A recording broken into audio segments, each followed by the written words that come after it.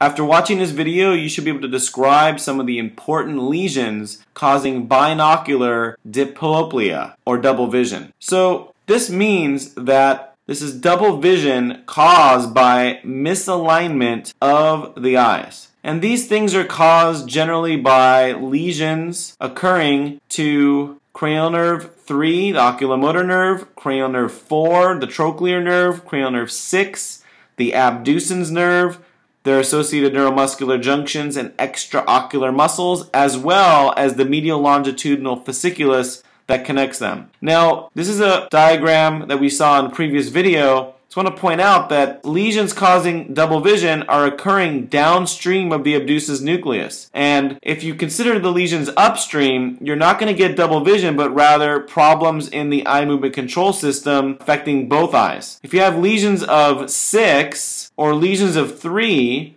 or lesions of the ascending medial longitudinal fasciculus, you're going to have double vision. So let's take a look at a diagram that we saw in a previous video showing the eye movement control systems. And what we're going to consider first is a lesion of right cranial nerve 3. So let's write cranial nerve 3 lesion.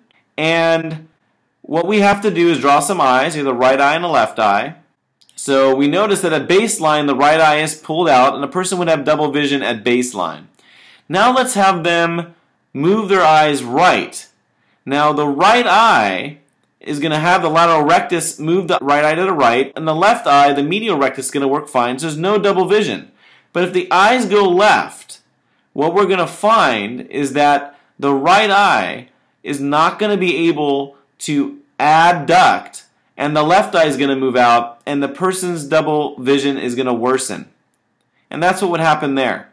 Now, if we had a six lesion on the left side, okay, we'll draw the eyes again, there's the right eye, there's the left eye. And we notice at baseline, looking straight ahead, there's no problem, no double vision.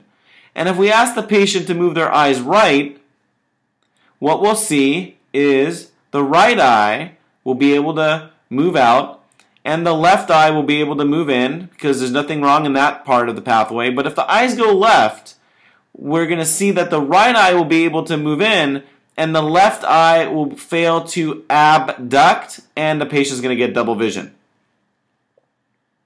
Now, if we consider finally a lesion in the right MLF, okay, we'll write that out. Right MLF lesion.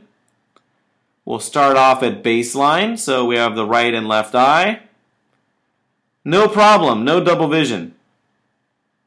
Now, if we ask the patient to move their eyes right, what we're going to find is that the right eye, that's going to be able to abduct, and the left eye is going to be able to adduct. But if we have the eyes go left, the problem here is that the right eye will fail to move in, and the left eye will move out, and the patient will have double vision because there's a problem with the communication between the nuclei. Now, if we ask them to actually converge their eyes, they'll be able to do that because there's nothing wrong with the medial rectus or the right three. It's a communication between them. And actually, when you have a lesion of the MLF this way, it's called an internuclear ophthalmoplegia, a problem with the communication between the abducens nucleus and the contralateral oculomotor nucleus. Now, it's also important to consider when you have these kinds of lesions, for example, in cranial nerve 3, Cranial nerve 3 does some other things. So we might expect also that the pupil is large and poorly reactive to light. There might be some ptosis and maybe even perhaps some neighborhood sign affecting the crus cerebri causing a contralateral hemiparesis. Also for 6, since 6 goes right by the basis pontis, we also might expect as a neighborhood sign a contralateral hemiparesis as well.